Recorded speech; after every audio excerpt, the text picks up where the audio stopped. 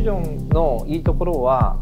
ライセンスが自由にあの取れるということで学生はライセンスを取得した後家でも CAD または CAE をできるということで授業時間外に自分の好きなことが実現できるということが、まあ、一番魅力的なところかなと思います。また失敗した時はそれを修正できるっていうところが、まあ、非常に教育的には効果があると私は思っています。フュージョンの全体を通して一貫性というところを見ますと、まあ、他のソフトウェアはいまだにこの速いスピードで変わっていく時代に合ってなくて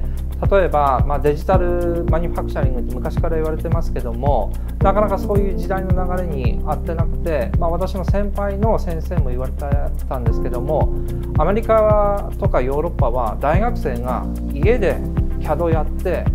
まあ、過去機なんかのあのプログラミングなんかをやってると。